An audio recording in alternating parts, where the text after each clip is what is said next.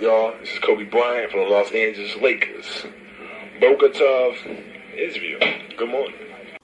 I started covering Kobe Bryant and the Lakers in 1997. Kobe wasn't even starting yet.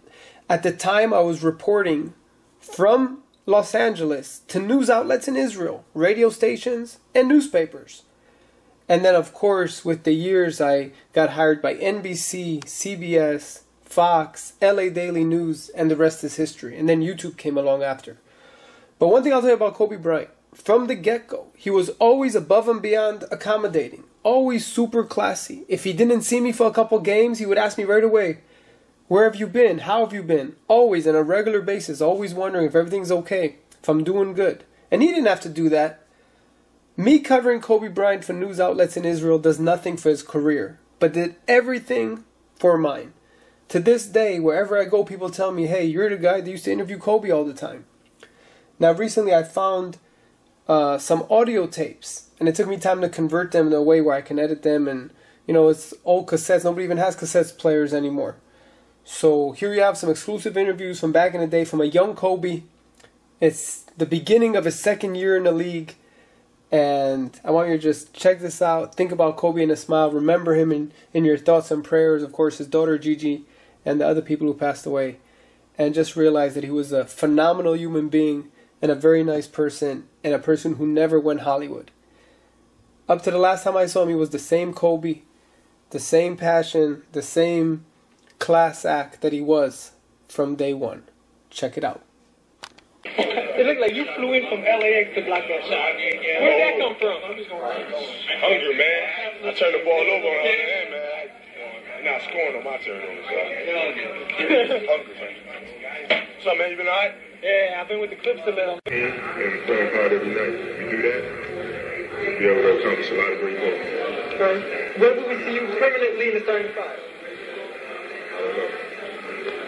I'm gonna add me said it in a smile. All right.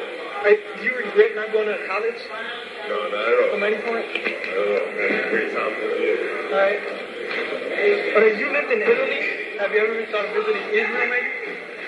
Thought about a couple times. Oh yeah. I just have to get some free time. So if you get an official invitation, you'll come. But what, what was those commercials like with the shoes that you see every five minutes? When you were a kid, did you think that like five years ago? You? Let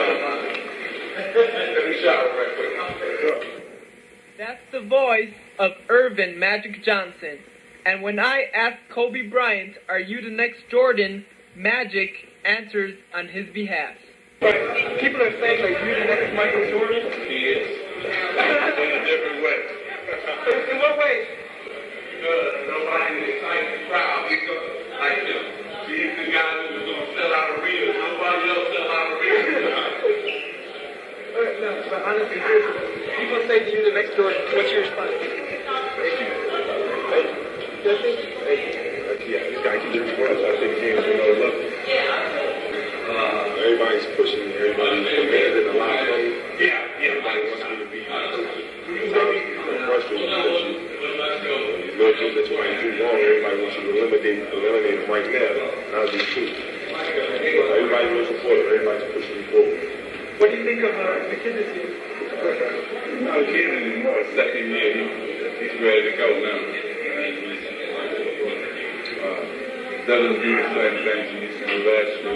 And that shows you he's uh, grown, getting better. Bryant has a message for the kids. You to believe in yourself. Your mental, your mental strength, your mental strength can take you a long way. So the kids on Israel, confidence, your mental strength. What's up, y'all? This is Kobe Bryant from the Los Angeles Lakers. Tov, Israel. Good morning. Shaquille from the Lakers. Israel. Good morning. Love you. Bye.